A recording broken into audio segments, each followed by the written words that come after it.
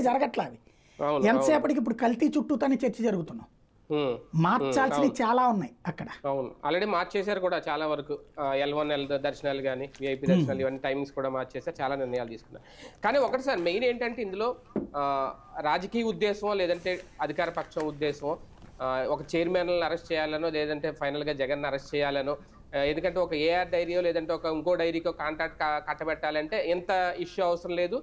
ఆ, silent గా జరగాల్సిన జరగచ్చు. చాలా మంది కాంట్రాక్ట్లు ఇప్పటికే మార్చారు గతంలో కూడా.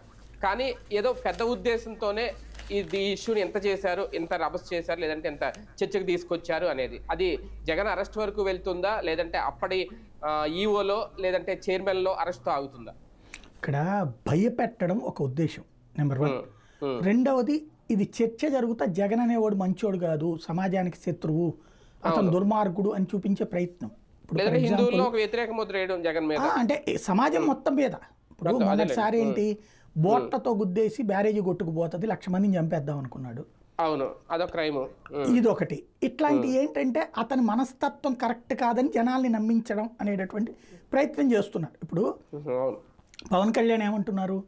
టెండర్లు ఇచ్చేటటువంటిది టీటీడీ బాధ్యత. పాలక మండలి